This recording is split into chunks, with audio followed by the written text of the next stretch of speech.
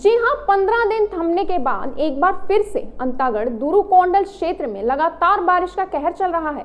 फिर से नदी नाले उफान पर हैं। पंद्रह दिन पहले लगातार बारिश हुई थी, जिसमें जनजीवन अस्त व्यस्त तो हुआ ही था। वहीं कुछ लोगों की नदी में बहने पर मौत हो गई थी। वहीं पुनः कल रात से लगातार बारिश के चलते फिर से जनजीवन अस्त व्यस्त हो गई है। नदी नाले उफान पर हैं। ब्लॉक मुख्यालय से कई गाँवों का संपर्क भी टूट चुका है। वहीं कोयली बेड़, अंतागढ़ भानु प्रतापपुर रोड हुई बाधित। गाड़ियों की लगी लंबी लंबी कतारें। अंतागढ़ के बुलावन में कई घर टूटने की खबर आई है।